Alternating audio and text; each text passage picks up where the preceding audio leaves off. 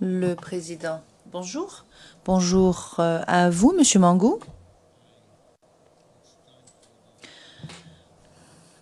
Le moment est venu de donner la parole aux équipes de la défense. Donc les deux équipes euh, de défense des accusés qui vont vous poser des questions et je vais donner la parole à Maître Altit. Nous avons pris bonne note du courriel de ce matin, Maître. Donc euh, si à un moment de la journée, dans la mesure du possible, bien sûr, si vous pouviez être, euh, ou plutôt préciser votre pensée, je pense euh, à la durée, euh, ce dont vous parlez dans votre courriel, ce serait très bien. Je peux d'ores et déjà vous dire que mardi prochain, il n'y aura pas d'audience. Donc si ce que vous envisagez va se passer, nous poursuivrons mercredi avec euh, 384. D'accord? Vous avez la parole, maître Altit.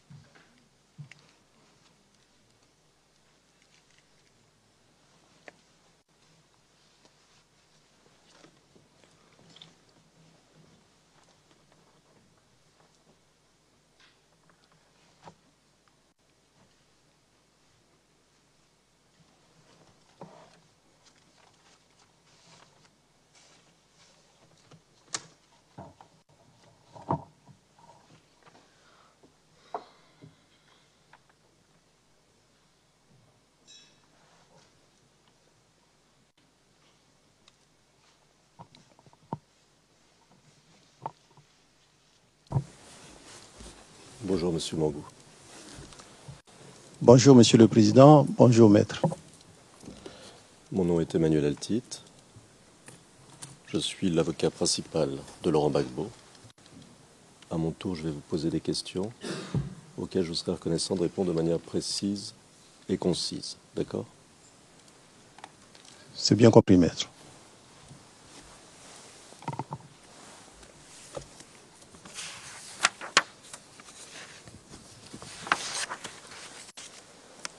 Alors nous commençons. Vous nous avez dit, lors de votre témoignage en réponse aux représentants du bureau du procureur, et c'est page 51 des transcrits du 28 septembre dernier, avoir été informé par les forces impartiales des incidents allégués du 3 mars 2011. Vous vous souvenez de ça? C'est bien ça. Alors, je vais vous citer d'ailleurs. C'est page 51, un transcrit real time du 28 septembre 2017 en français. Et vous dites, en réponse à une question du représentant du bureau du procureur, alors, je cite, hein, alors j'ai été informé par deux personnes. La première personne, toujours par les forces, les forces impartiales. La deuxième personne, par le ministre, le ministre qui m'a apporté l'information. Donc il m'a appelé pour me demander si nos éléments avaient effectué des tirs sur les femmes. La première chose que j'ai faite, c'est d'appeler des taux pour m'informer. Est-ce qu'il a été informé de ce qu'une... Alors, ici, c'est pas très clair. Je suppose que c'est de ce qu'une personne ou de ce qu'il se passait à Bobo. Et il m'a dit non. Fin de citation. Première question. Qu'est-ce que vous entendez par force impartiale? Merci. En fait, euh, celui qui m'a informé, c'est le général Palacé, qui m'a informé de ce qu'un incident se serait produit à Bobo. Donc, euh, le général Pala- Palacé lui-même est le commandant des forces euh, Licorne, mais puisqu'il travaille avec les forces impartiales, pour nous, ce sont les forces impartiales.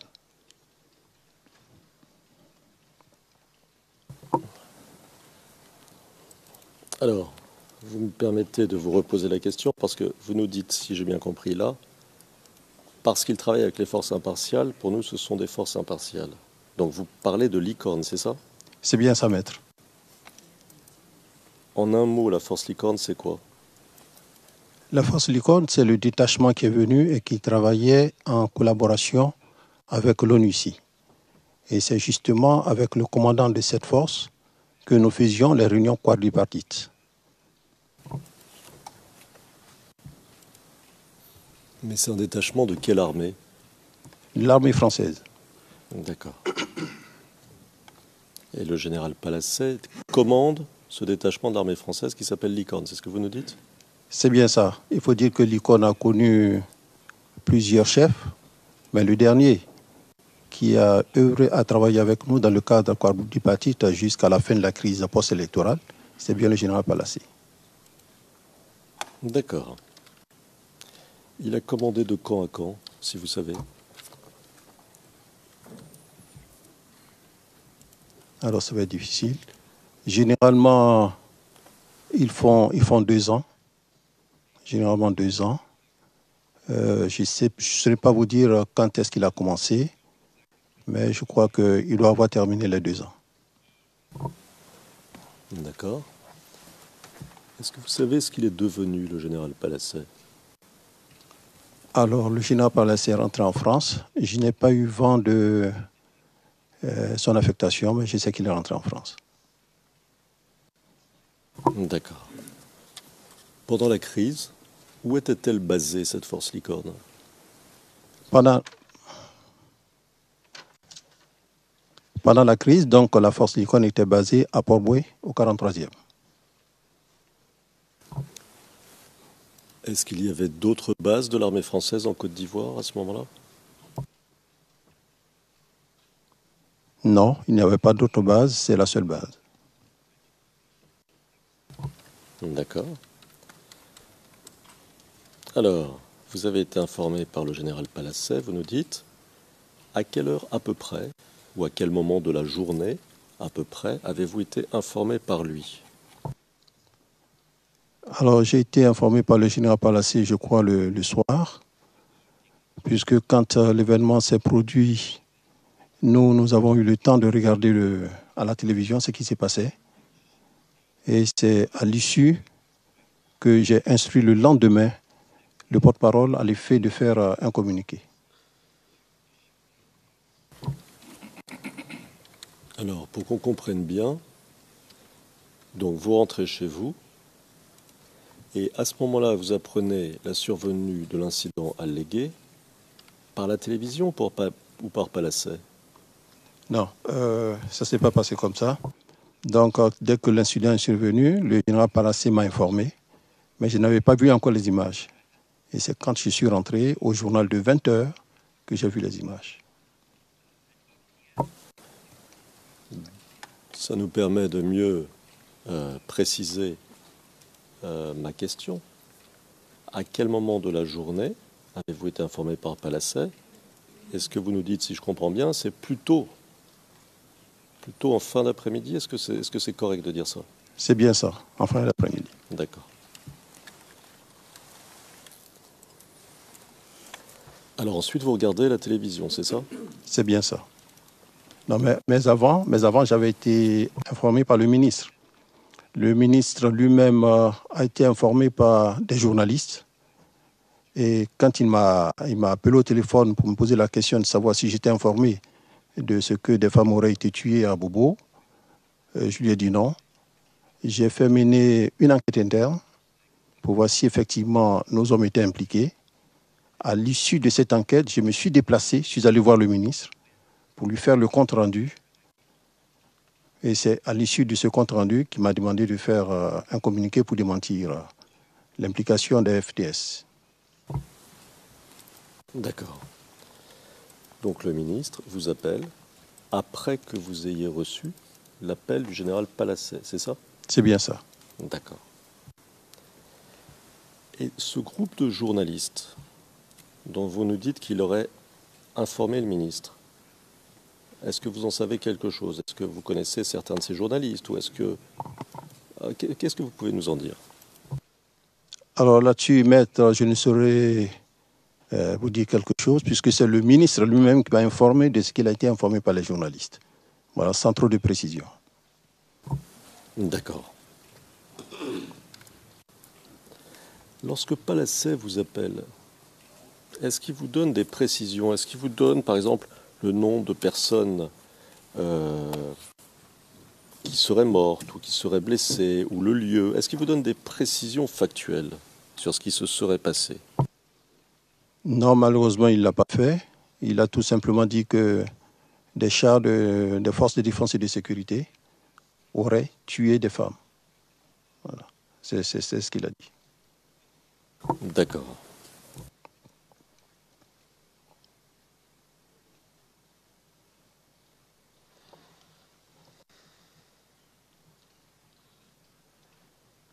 Dites-moi, à propos des forces impartiales, vous avez parlé de réunions quadripartites.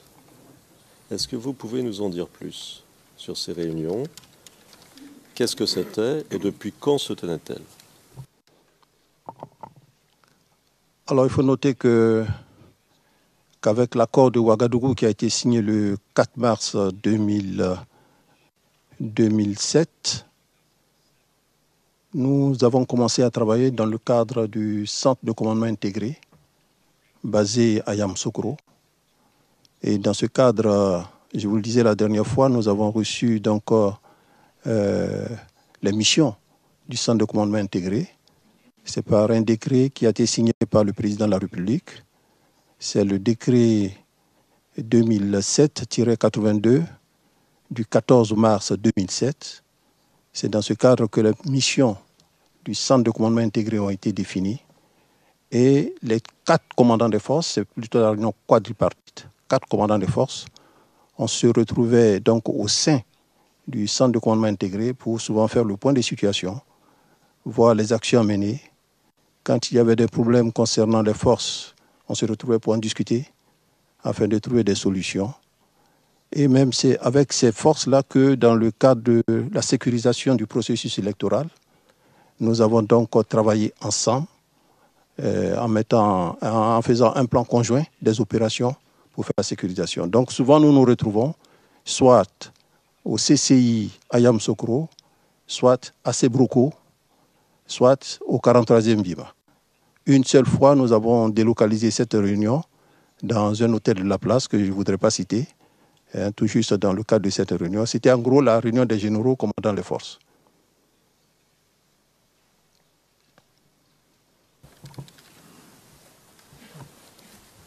Pour que l'on comprenne bien, donc ces généraux, ce sont les quatre généraux, le commandant de la force Licorne, ici à la fin du procès, pendant la crise en tout cas, Palacet, le commandant des forces ONU, le commandant, enfin le, le chef d'état-major des forces euh, républicaines de Côte d'Ivoire et le chef d'état-major de l'ex-armée rebelle, c'est ça?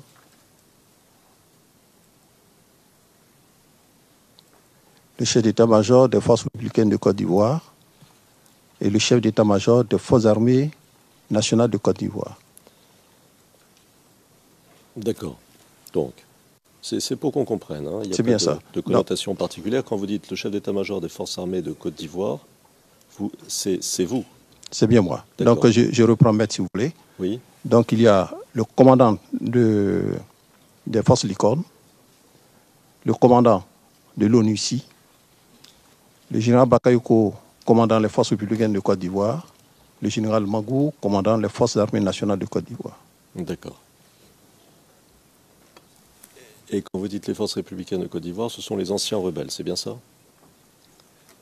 Non, je n'utiliserai pas cette. Euh, oui, les anciens rebelles, voilà, qui ont fait leur mue et qui sont devenus forces républicaines de Côte d'Ivoire. Alors on peut peut-être le dire autrement, si vous préférez, ceux qui sont basés au nord de la Côte d'Ivoire, c'est ça? C'est bien ça, maître. D'accord. Alors, donc si je comprends bien, il y a eu des réunions réunissant ces quatre, ces quatre hautes personnalités militaires, euh, ces quatre euh, responsables militaires, régulièrement pour faire un point de la situation, et ceci depuis 2007, c'est ça? C'est bien ça, maître. Alors, était-il question de 2007 euh, à la fin de la crise? Alors permettez-moi de vous poser une, autre, une question un peu complémentaire avant. Y a-t-il eu encore des réunions de ce type pendant la crise Si vous pouvez être un peu plus explicite, parce qu'on a connu deux crises, la première de 2000 jusqu'à l'organisation euh, du premier tour des élections, et puis la crise post-électorale. Je vais préciser ma question. Y a-t-il eu des réunions de ce type, c'est-à-dire réunissant les quatre chefs militaires euh, ou quatre responsables militaires pendant la crise post-électorale, c'est-à-dire du euh, premier tour des élections, disons, présidentielle de 2010 à euh, avril 2011 Alors, comme euh, je vous l'ai souligné, maître, c'est avec eux que nous avons travaillé dans le cadre donc, du, de la sécurisation du processus électoral. Lorsque nous avons fait donc, le message pour la sécurisation du processus, nous nous sommes retrouvés à l'issue des résultats du premier tour pour faire un point de situation de ce qui s'est passé pendant le vote. Et puis, nous nous sommes retrouvés encore pour faire un autre, un autre message pour la sécurisation du deuxième tour.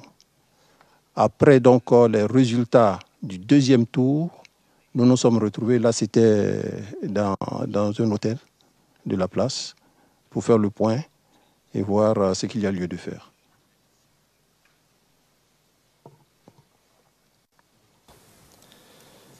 Alors, de 2007 à, disons, aux élections présidentielles de 2010,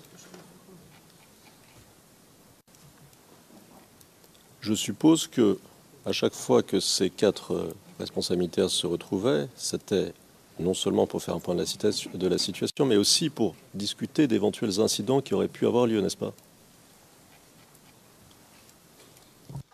Oui, effectivement.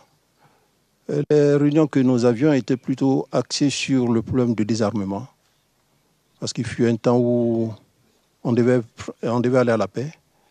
Il s'agissait donc de faire le, le, regroupement des forces. Le regroupement des forces afin de procéder au désarmement. Il s'agissait aussi de voir dans quelle mesure on allait désarmer tout ce qui était en armes, parce que l'objectif premier, c'était de débarrasser la Côte d'Ivoire d'armes. Donc, c'est ce genre de réunion que nous avons eues. Et puis, bon, la dernière, euh, euh, effectivement, on a, aussi parlé des problèmes de circulation des forces impartiales, parce qu'il fut un temps où les forces impartiales étaient arrêtées par, par les jeunes patriotes. Donc, ils ont posé le problème. Voici les, ces genres de problèmes que, dont nous débattons, nous débattons en nos réunions. Mais effectivement, nous avons aussi parlé souvent d'incidents.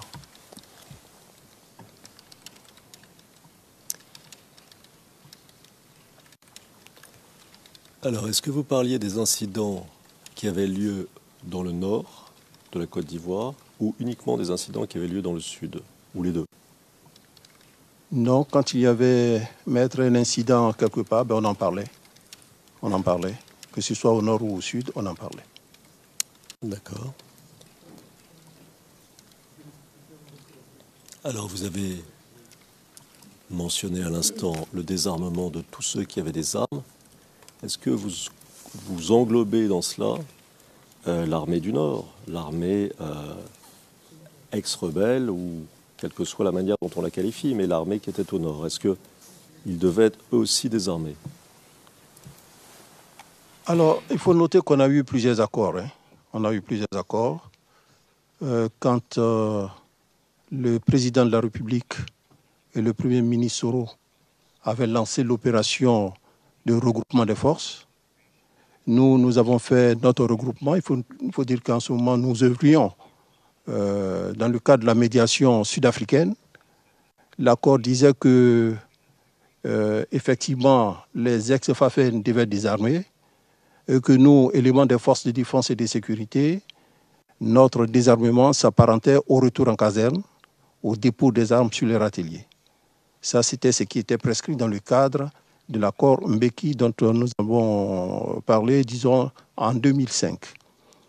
Lorsque l'accord de Ouaga a été signé le 4 mars 2007, il n'a plus été question du désarmement des forces républicaines de Côte d'Ivoire parce que l'accord avait consacré deux armées à la Côte d'Ivoire, une armée au nord, une armée au sud, et nous devions, nous, deux chefs d'état-major des armées, nous retrouver au sein du centre de commandement intégré pour co-gérer toutes les activités militaires. Donc il n'a plus été question du désarmement, bien que nous ayons fait à Boaké euh, la cérémonie de la flamme euh, avec, bien sûr, euh, les armes qui ont été mises au bûcher. Très bien.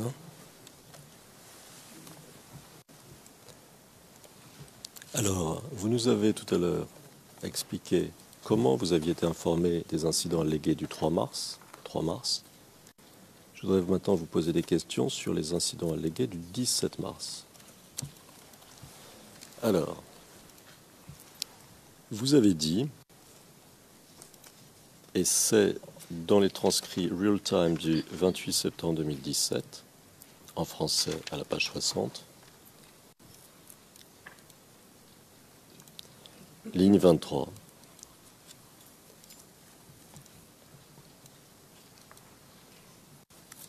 Alors c'est le général, je cite, alors c'est le général Palacet qui m'a informé, et là il m'a dit, il m'a dit qu'il y avait, je crois, trois morts, trois personnes qui seraient mortes. Fin de citation. Alors, première question, quand vous a-t-il informé?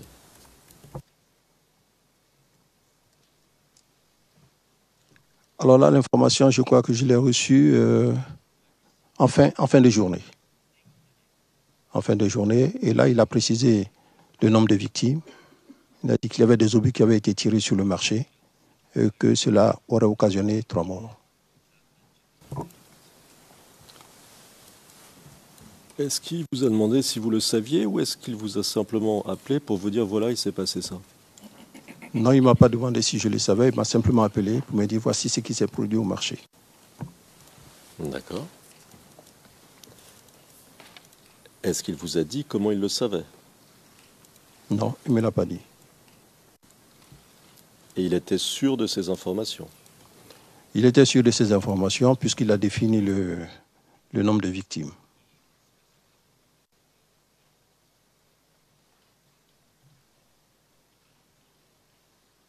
D'accord. Alors, vous nous avez parlé du ministre de la Défense. Est-ce que c'est le même processus que pour l'incident précédent? Est-ce que le ministre de la Défense vous appelle après que vous ayez reçu l'appel du général Palacet? Exactement le même processus.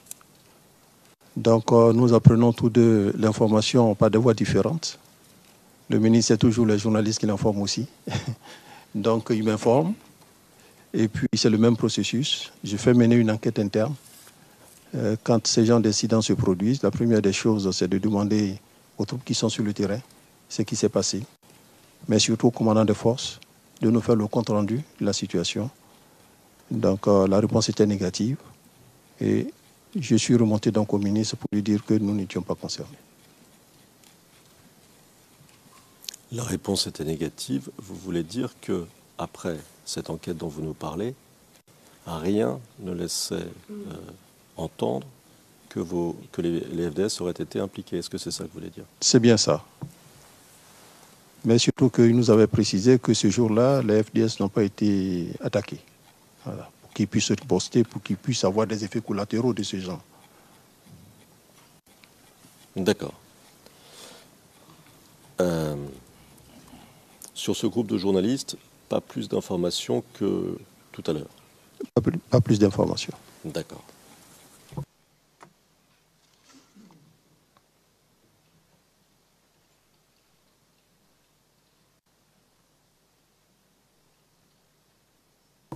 Alors on va passer à un point un peu différent. Vous nous avez dit, en expliquant un peu le dispositif général de mise en place de l'armée. Et c'était le premier jour, si vous vous en souvenez. Ce sont les transcrits français édités du 25 septembre 2017, page 12. euh, ligne 24 à ligne 28 et page 13, ligne 1.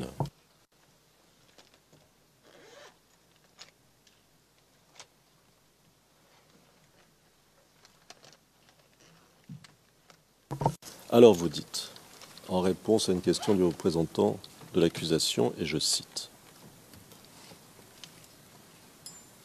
Alors, lors de la crise post-électorale, on avait deux grandes entités. Les unités qui étaient sur le théâtre des opérations, dont le commandant du théâtre était le capitaine de vaisseau-major Conan Boniface, les unités qui avaient été formées et déployées dans tout Abidjan, y compris à Abobo pour la sécurisation de la ville d'Abidjan et pour l'intervention au niveau d'Abobo, qui, elle, était placée sous l'entière responsabilité du général de brigade Deto Leto Firmin. Fin de citation. Donc, pour que ce soit bien clair, les unités hors d'Abidjan sont commandées par le commandant Boniface et les unités à Abidjan sont commandées par le général Deto Leto. Est-ce que c'est ça? C'est bien ça, maître.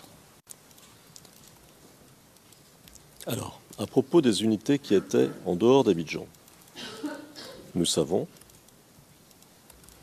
parce que c'est au dossier, que, alors, les rebelles, ou vous les appelez comme vous voulez, mais les troupes qui étaient au nord, ont traversé la frontière entre les deux zones du pays en mars 2011 et sont allés vers le sud du pays en mars 2011. Est-ce que vous confirmez qu'il y a eu une offensive en mars 2011 des troupes du nord vers le sud? Je confirme cette offensive a... Just, just don't, uh... Le président, ne commencez pas à parler trop vite. Marquez une pause avant de répondre, sinon les interprètes auront de la difficulté à vous suivre. Merci. Veuillez poursuivre.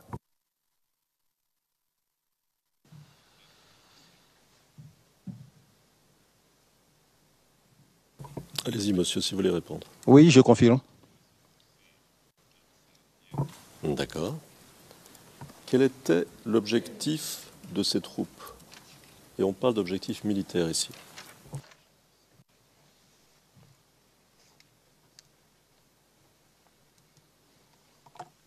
Alors, cette offensive a eu lieu le, à partir du, disons, ça a commencé le 28, le 28 2000, 2000 mars 2011.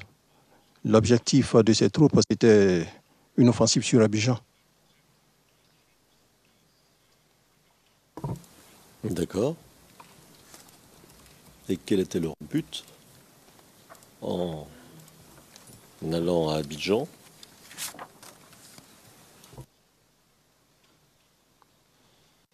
Donc, euh, suite euh, au refus du président Laurent Gbagbo de, de reconnaître euh, sa, sa défaite, effectivement, ces unités sont descendues à Abidjan.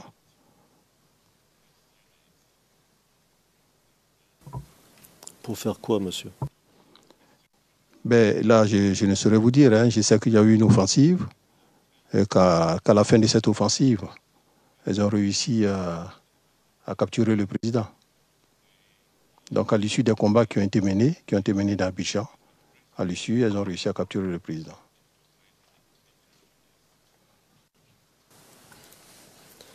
Alors, on parle d'une offensive du nord vers le sud. Quelles routes ont emprunté les troupes rebelles? Je peux vous poser ma question un peu différemment. Est-ce qu'il y avait plusieurs axes d'attaque? Oui, je confirme qu'il y avait plusieurs axes d'attaque. J'avais. Déjà, il y avait les premiers combats.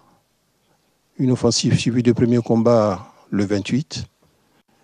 Le premier qui a décroché du côté des forces de défense et de sécurité, ça a été l'élément qui était à Diokoué, qui a combattu jusqu'à 1h du matin et qui n'avait plus de munitions. Donc, il a rendu compte qu'il n'avait pas de munitions, qu'il ne pouvait plus tenir tellement la pression ennemie était forte. Et je lui ai demandé de passer par Guiglo, de récupérer les hommes de Guiglo, passer par Taï et se faire recueillir par Allah, qui était dans le sud-ouest à San Pedro. Donc c'est ce qui a été fait. Ensuite, euh, le deuxième à décrocher chez nous, ça a été celui qui est plus à l'est, Hervé Kakou, qui était à Laoudiba, la position la plus avancée, donc qui a décroché en direction de Bondoukou pour ensuite rallier euh, à Bangourou. Il restait donc sur le théâtre le commandant du groupement Centre-Ouest dans la région de Daloa et le com théâtre lui-même qui était à Yamsokro. C'était le même problème, problème de munitions, mais qu'en plus de cela, il y avait une démotivation de nos hommes. Donc eux aussi, ils ont regroupé. Alors les offensives maintenant des forces républicaines de Côte d'Ivoire, il y a eu une offensive plus à l'ouest, à partir de Mans, en direction de Diokwe, une offensive sur l'axe central Boaké-Tiebissou, une offensive à l'est, à l'est à partir de, puisque les derniers éléments étaient à Tabou, non, je n'ai pas le nom, un peu plus au nord par rapport à Laoudiba. Donc, ils ont fait une offensive sur Bondoukou. Donc, disons en gros qu'il y avait trois axes d'effort. Un axe ouest, un axe central et puis un axe est.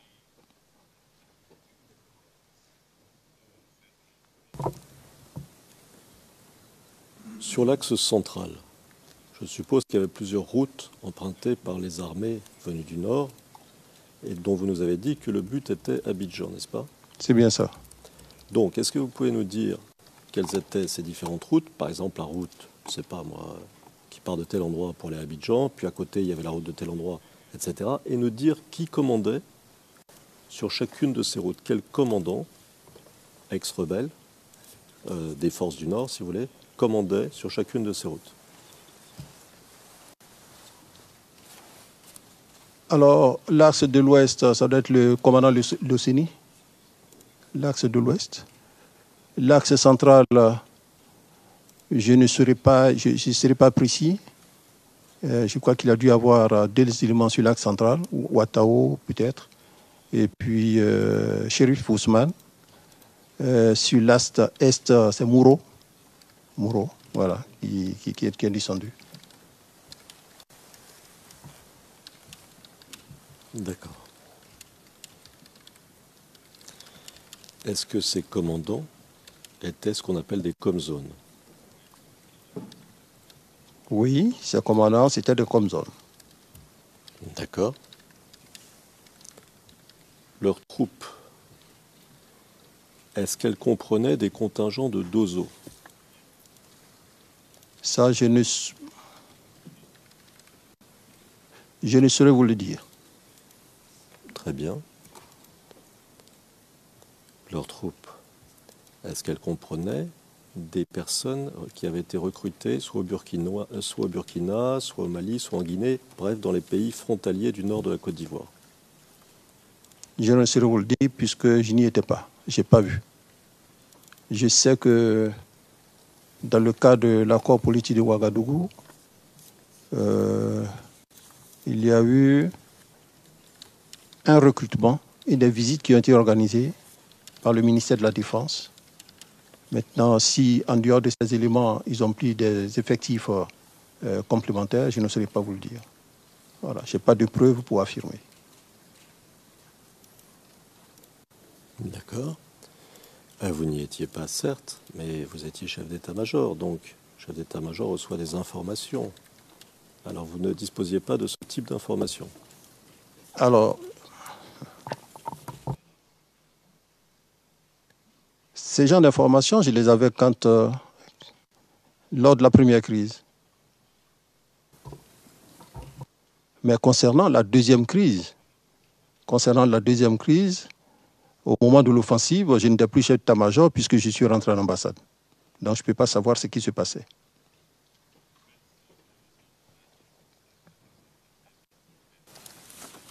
D'accord. Alors j'aimerais vous montrer un document dont les références sont les suivantes CIV OTP 0071 05 94. Alors nous vous laissons la main.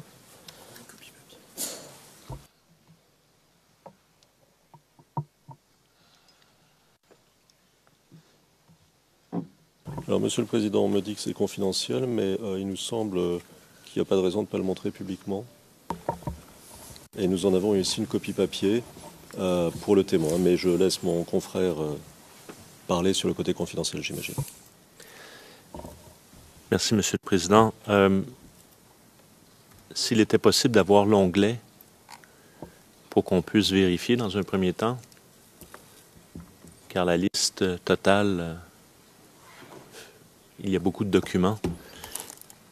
Et deuxièmement, Monsieur le, Président, euh, c'est juste une remarque pour qu'on se situe dans le temps. Je comprends qu'on parlait du mois de mars, mais le témoin dit le 28. Il n'a sans préciser le, euh, le mois que nous présumons était mars, mais s'il était possible de le confirmer pour éviter toute confusion au transcrit. Je vous remercie. Et on regarde le document à l'instant. Alors sur la question de la Ça date, peut Monsieur le être, euh, je vais ça peut être la public. question au témoin, et puis on pourra revenir sur le document. Monsieur le témoin, vous avez suivi l'échange. Euh, Est-ce que quand vous dites le 28, je n'étais plus, euh, je ne sais plus exactement ce que vous avez dit, mais enfin, vous vous souvenez de ce que vous avez dit. Est-ce que c'était le 28 mars 2011 Est-ce que c'est, quand vous dites le 28, ça correspond au 28 mars 2011 C'est bien ce que j'ai dit, maître. Il s'agit bien du 28 mars 2011. Et on parlait aussi de l'offensive, et cette offensive a lieu à partir du 30 mars 2011. Merci. Alors l'onglet c'est 784. Le Président, il y a la question du document. Monsieur McDonald, oui, il peut être diffusé en public. Le Président, très bien. Donc, diffusons-le en public. Merci Monsieur le Président. Alors nous avons une version papier pour le témoin, ce serait peut-être plus facile.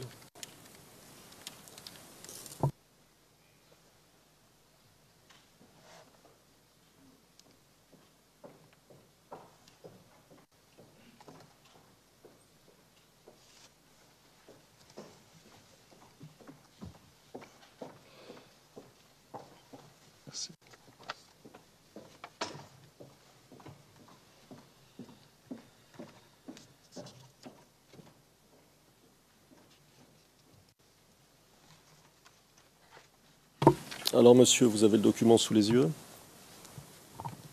Oui, maître. Alors, euh, est-ce que vous avez déjà vu ce document? Oui, ce document a été signé par moi. D'accord, donc vous confirmez que la signature qui est euh, à la deuxième page de ce document, c'est-à-dire la page 0595, en bas de la page est bien la vôtre? Yes. Le Président, oui, il a déjà dit que c'est lui qui l'avait signé. Très bien. Euh, alors, si on remonte sur la page, on voit qu'il s'agit d'un message qui émane du SEMA et qui est adressé à Minidef. Alors Minidef, vous nous confirmez que c'est... C'est quoi? Minedef, c'est le ministère de la Défense. Merci. Minister of Defense. We have Alors, we have by now learned Le Président, nous savons maintenant ce que signifie MINDEF. après le mot info, est-ce que vous pouvez nous dire rapidement ce que sont ces acronymes? Ou ce qu'ils recouvrent plutôt? Alors, après le mot info, on a le co-suivant, le commandant supérieur de la gendarmerie nationale, le DGPN, le directeur général de la police nationale, le COMAR, le commandant de la marine nationale, le COMER, le commandant des forces aériennes, le SECOS, le commandement du centre des opérations, le COMTER, le commandement des forces terrestres, le COMThéâtre, le commandement du théâtre des opérations. D'accord. Alors, pour ce qui concerne la date, elle semble être celle du 14 janvier 2011. Vous confirmez? C'est bien ça, 14 janvier 2011. D'accord. Alors, le message indique, et je cite, des volontaires. Je me tourne vers les interprètes pour savoir si tout va bien. OK. Euh, je cite. Metraltit, Le président, Maître Altit, est-ce que vous pouvez partir du principe que tous les acronymes sont bien connus de tous, notamment de la Chambre, pour ne pas avoir à poser des questions évidentes? Nous connaissons tous ces acronymes. Cela fait deux ans que nous sommes en procès maintenant. Merci. Et il est possible, le témoin est ici, il lui est possible de nous dire on voulait que ça parte à tel destinataire, c'est pas parti pour telle raison. Non mais je veux dire, on, essaie d'obtenir des informations ici concrètes et matérielles sur, sur ce qui s'est passé, sur les messages. Non. Non. Oui. Le président, non, non. Nous sommes capables de lire, nous pouvons interpréter les acronymes, nous savons qui sont les destinataires, donc ces questions ne seront pas autorisées. Voilà, je vous l'indique à titre de référence.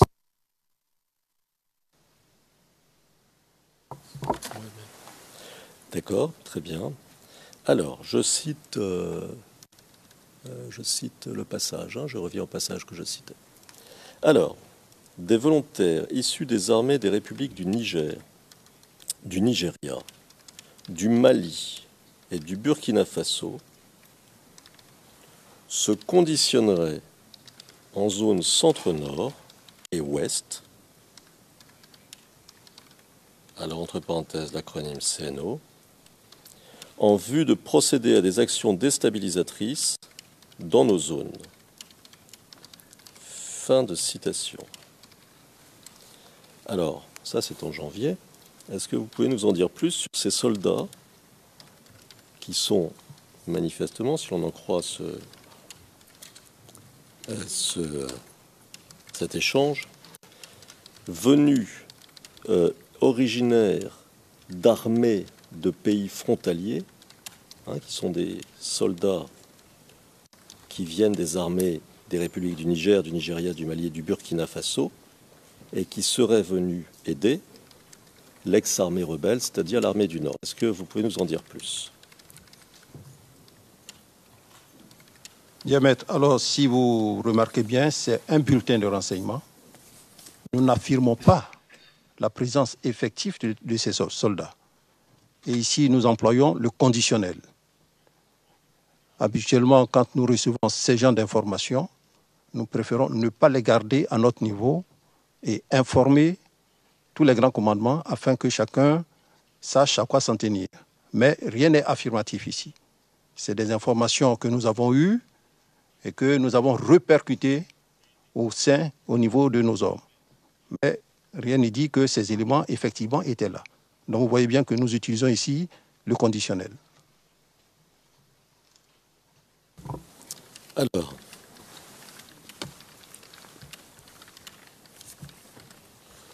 cette information, elle vient de qui? Dans le domaine tactique, toute information est bonne à prendre. Ça peut être euh, la population civile qui remonte de Mbouaké, qui a vu certaines choses qui viennent porter à notre connaissance. Ça peut être euh, nos officiers de renseignement que nous projetons sur le terrain, qui nous donnent ces informations. Souvent, quand nous les recoupons, c'est vrai. Souvent, c'est pas vrai. Donc ici, nous ne sommes pas, nous n'avons pas été affirmatifs. Nous disons c'est vrai. Et encore en janvier, c'était, il y avait une folle rumeur qui courait à Abidjan pour dire que l'ECOMOG allait venir euh, enlever le président Laurent Gbagbo du pouvoir. Donc euh, ça courait les rues. Et l'information qu'on reçoit, c'est ça, mais nous n'avons pas vérifié par nous-mêmes l'effectivité hein, de leur présence sur le terrain. D'accord.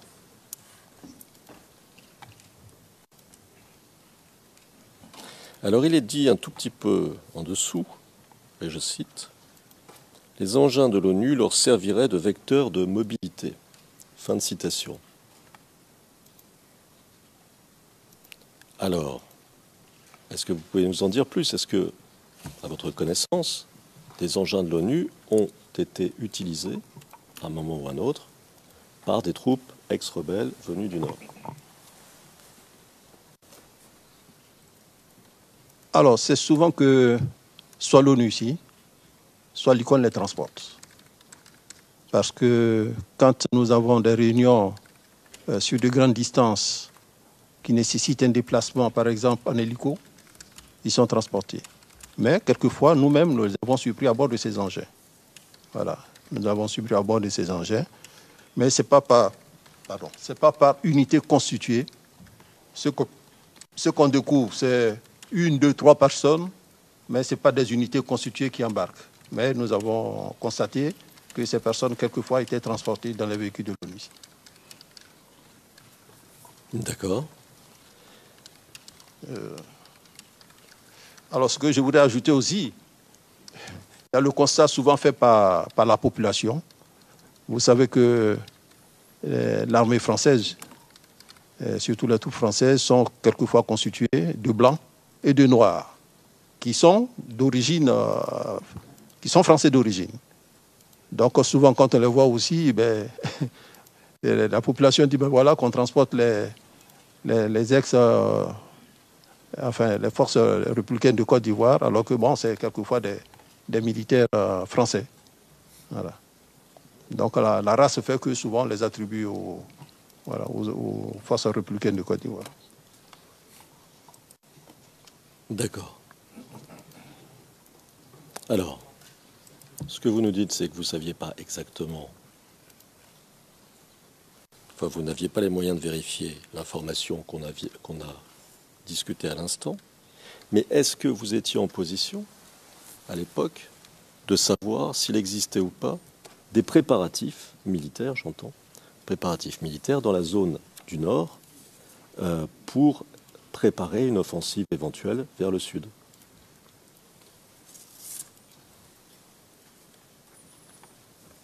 Oui, ce que je peux vous dire, euh, c'est que chacun de son côté s'est préparé. Nous nous sommes préparés, ils s'y sont préparés aussi. Je peux vous dire qu'il y avait des préparatifs qui se faisaient. D'accord. Alors tout à l'heure, vous nous avez dit que l'offensive déclenchée par les troupes du Nord vers le Sud le premier combat a eu lieu et je n'ai pas très bien compris où. Vous nous avez donné le nom de l'officier qui s'est défendu, mais est-ce que vous pouvez nous dire le lieu précis? À Djekwe. Donc, première attaque, première offensive armée des troupes du Nord, c'est sur Djekwe, c'est ça? C'est bien ça. À Djekwe, est-ce que les troupes du Nord ont été soutenues militairement par les forces françaises?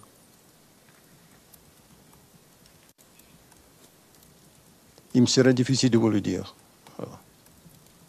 Je vous ai dit que euh, je n'avais pas plus d'informations au-delà de nos éléments, donc je ne peux pas vous dire s'ils ont été soutenus. D'accord.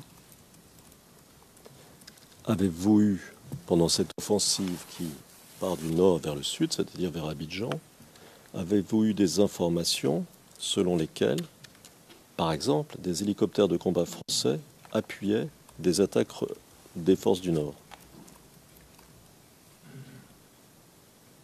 Je n'ai pas cette information. Une attaque euh, d'hélico, ça ne se cache pas, ça se sent sur le terrain. Je n'ai pas cette information le Com Théâtre ne m'a pas fait un compte rendu allant dans ce sens. D'accord. Alors, vous nous avez dit que l'officier dont vous nous parliez s'était défendu, mais qu'il avait été obligé de se replier faute de munitions, c'est ça? C'est bien ça. Est-ce que vous avez ordonné, alors on va passer axe par axe, aux troupes qui étaient positionnées sur l'axe ouest, aux troupes qui étaient positionnées sur les axes centraux et aux troupes positionnées sur l'axe est, est-ce que vous leur avez ordonné de se replier, puisque si je comprends ce que vous nous dites, elles n'étaient pas en position, par manque de munitions ou autre, elles n'étaient pas en position de se défendre. Est-ce que c'est ça? C'est bien ça, maître. L'ordre de repli a été, a été donné par moi. L'ordre de repli pour toutes les troupes hors d'Abidjan qui étaient sur les axes d'attaque des rebelles, c'est ça? Pour toutes les troupes, c'est bien ça. D'accord. Donc en fait, à part les premiers combats que vous nous avez cités, il n'y a pas eu beaucoup de combats entre la frontière, entre la zone nord et la zone sud, et Abidjan. Est-ce que c'est ça? C'est bien ça. D'accord.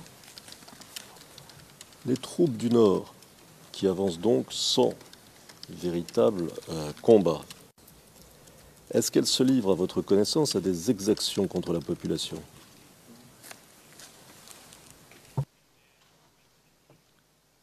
Plus aucune unité n'était en place pour me donner ce genre d'informations. Généralement, les informations, nous les avons par le biais de nos commandants qui étaient sur place, qui nous disaient ce que faisait l'ennemi, mais dès l'instant ils ont décroché, on n'avait plus la possibilité d'avoir ce genre d'informations.